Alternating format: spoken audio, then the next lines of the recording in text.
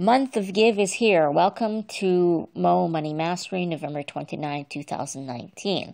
Now, marketing and advertising and commercials and ads are into overdrive. You see everywhere you go. Please donate, please donate, please donate, please give generously. How do you know where to give or what to give? Well, all right. So if you don't already have an organization that you donate to, then what you can do is you can Pick one that means something to you.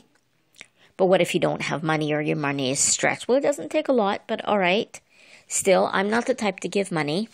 But what you can do is you can share their information on your social media, both your personal social media and your business social media.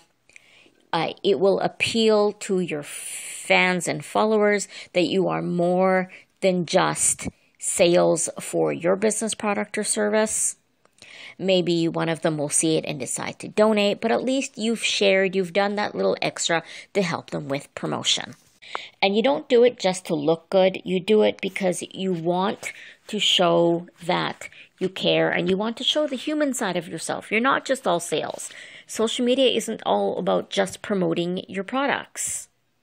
I gave it to this way to a friend. I said, "Is if I was the time I called you is when I wanted you to buy something from me. Hi, will you buy? Hi, will you buy? Hi, June, will you buy? Hi, June, will you buy? Hi, June, will you buy? Would you want to talk to me? The same applies to social media.